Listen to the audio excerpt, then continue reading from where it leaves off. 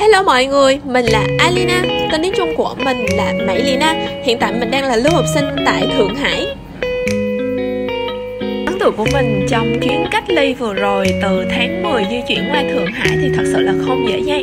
Nhưng mà cách mà những người chung họ đối đãi và cư xử với mình thật sự là mình rất ấn tượng về điều đó. Vì đang là mùa dịch cho nên mình cũng không thể bay trực tiếp từ Hồ Chí Minh sang Thượng Hải. Mình phải bay từ Hồ Chí Minh đến Vân Đồn Sau đó là mình sẽ đi qua cửa khẩu và cách ly tại địa điểm là Đông Hưng, Trung Quốc.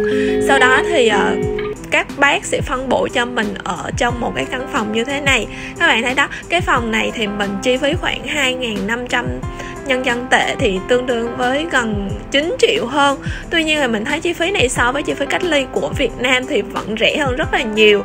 Phòng khá là rộng, toilet sạch và có lẫn hai Theo là ăn uống trong 14 ngày cách ly sẽ như thế nào đây?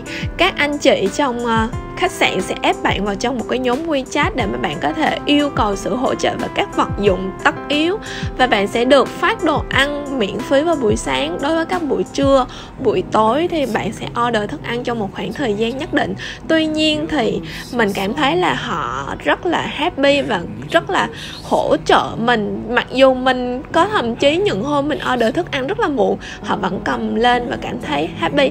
Nghĩ tới quay mai tao là các bạn có cảm thấy thật là vui vui khi cách ly 14 ngày như thế này không? Thật sự thì đối với mình, cách ly tại Trung Quốc nó không phải là một điều gì đó quá sợ hãi.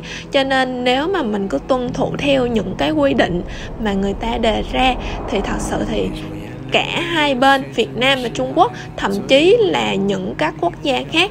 À, dù có bạn à, muốn đi đâu trong quá trình cách ly thì điều đó thật sự là nó sẽ góp phần tạo nên một cái nhìn đẹp hơn về mối quan hệ của hai đất nước Việt Nam và Trung Quốc. Và đây là một trong lúc mình đã kết thúc 14 ngày cách ly. Mình đã tới sân bay rồi các bạn ạ. Quá trình đi đến sân bay và đến Thượng Hải thật sự thần Hải về đêm rất là đẹp.